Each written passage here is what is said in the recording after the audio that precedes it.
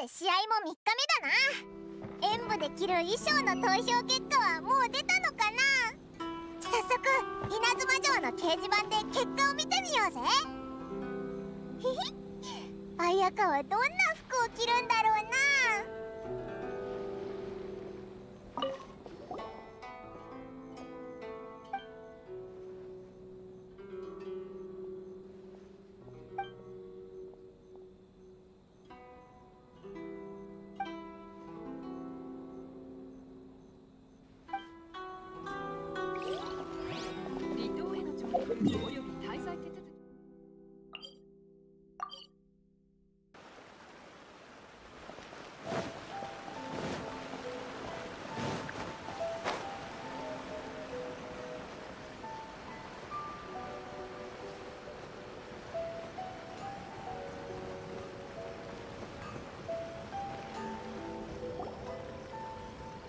もう人がいっぱい集まってるな。オイラにも見せてくれ。はあこんなにも表に差が開くとは。演武伝心のような稲妻ならではの試合なら絶対雅子さんの方が勝つと思ってたのに。予想通りの結果だ。オルツィ城事件簿は気鋭の人気作品だからな。物語も面白いし挿絵のフォンテーヌ衣装も特徴的だ。それにオルツィ城の身分は上里家のご令嬢にふさわしいと思わないか？うーん。オルツィ城は強気でいたずら好きだし上里家のお嬢様とは全然似ても似つかないけど。でもフォンテーヌ衣装を着る彼女を見れるのはなかなか新鮮でいいかもな。おり何言ってんだこいつら。なんか状況がいまいちわからないな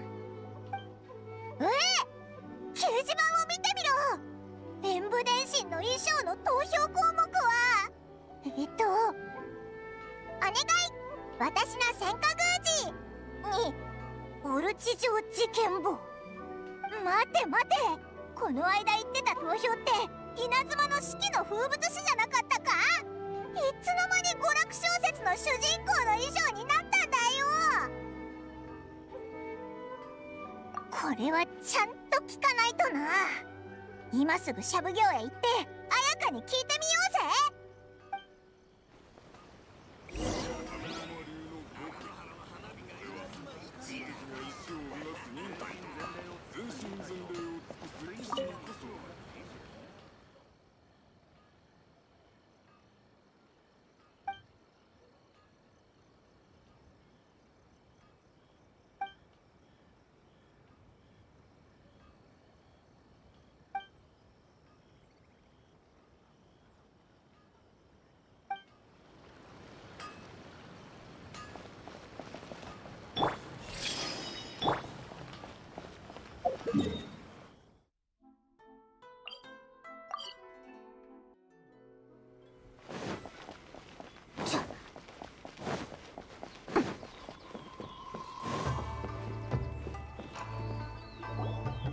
申し訳ございません。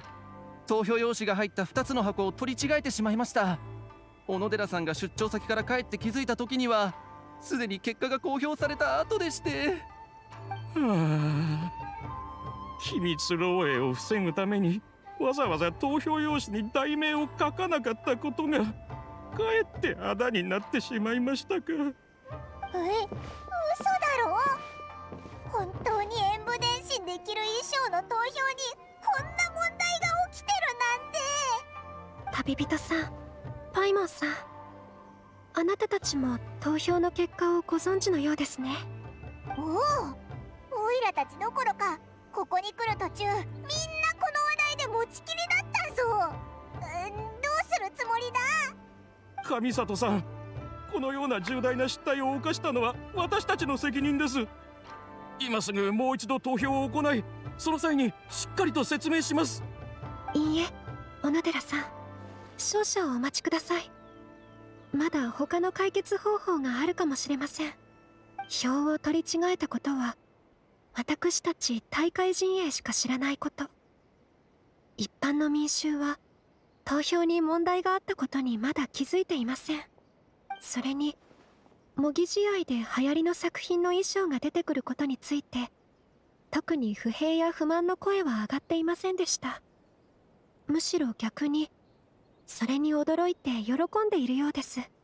大会の目的はより多くの人に試合に興味を持っていただくことである以上この不手際がもたらした結果を失態のままにすべきではないでしょう。あやかそれってつまり。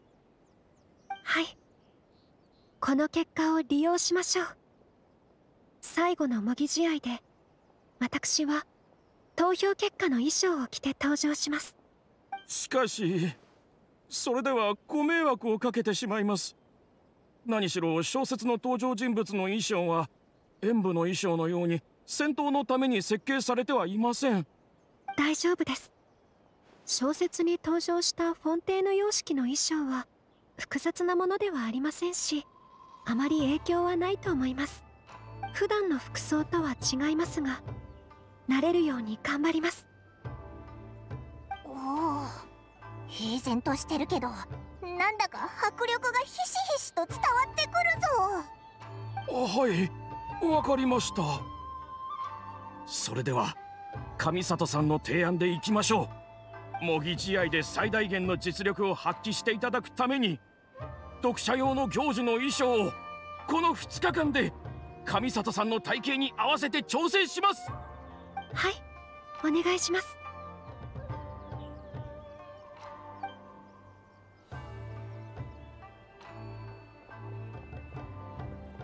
あやか小説の登場人物の衣装を着て模擬試合に出るなんて本当にオイラたちの前で無理してないよな。ご安心ください。無理はしていませんよ。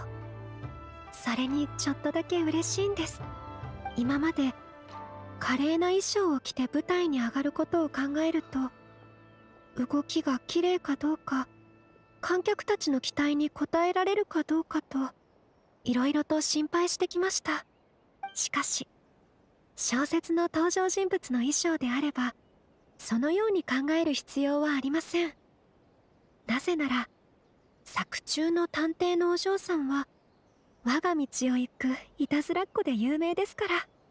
これで模擬試合を見る皆様も伝統の形を新たな楽しみとともに味わえるでしょう。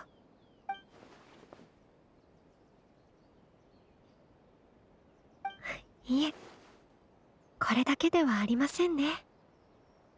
私は心の中でいつか普段とは違う姿になることをずっと望んでいたのかもしれません。旅人さん知り合ったばかりの頃にあなたはこうおっしゃっていました。リーユエモンドそれぞれの国の服装には違った特徴があると。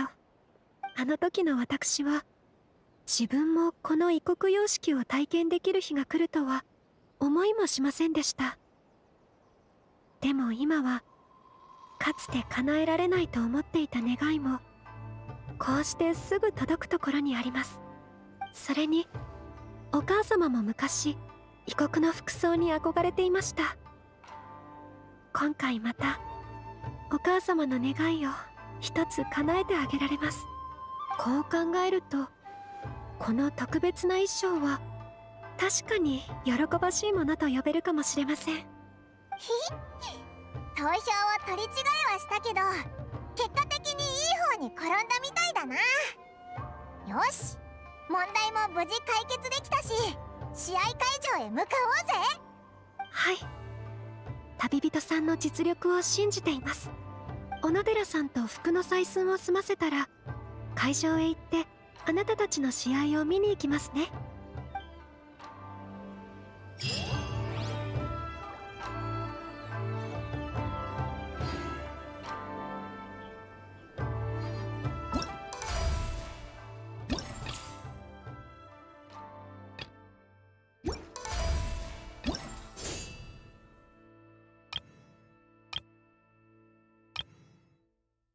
うん。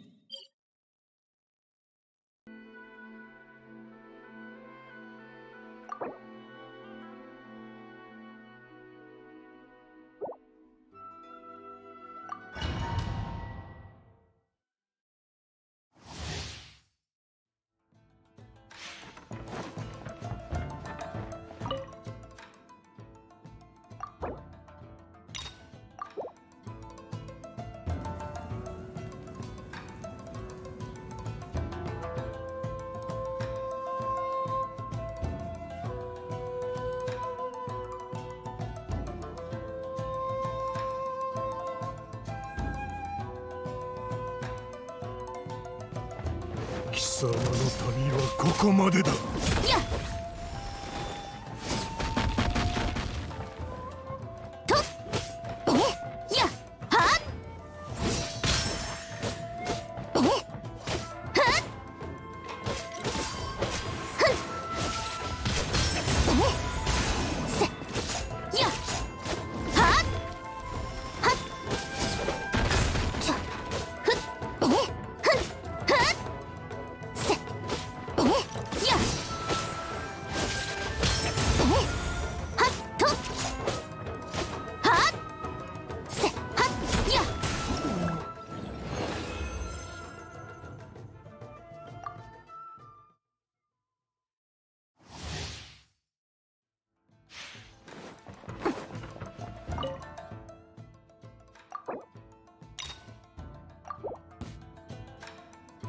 サガの旅はここまでだ。